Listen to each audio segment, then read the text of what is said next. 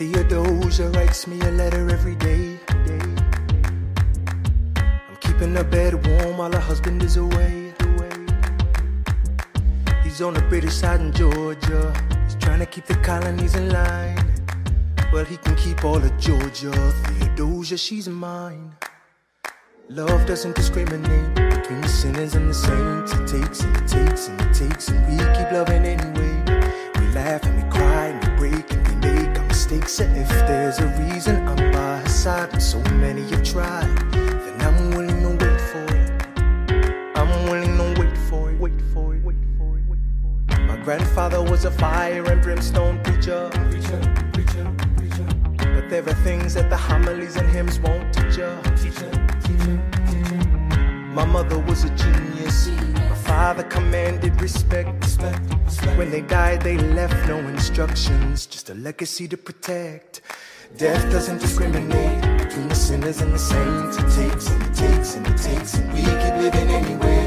We rise and we fall and we break and we make mistakes. And if there's a reason I'm still alive when everyone who loves me has died, I'm willing to wait for it. Wait for it. I'm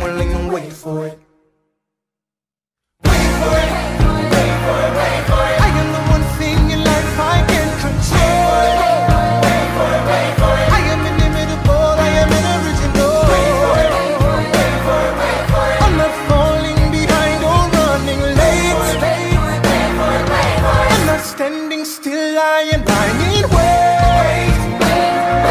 Hamilton faces an endless uphill climb. He has something to prove, he has nothing to lose. Hamilton faces relentless, he wastes no time. What is it like in his shoes?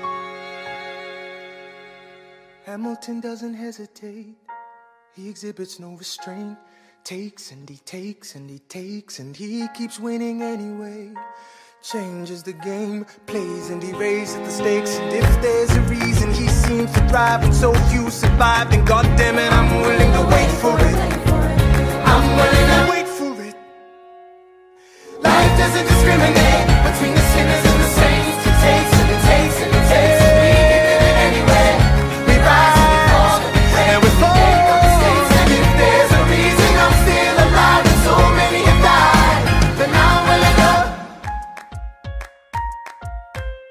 Wait for it.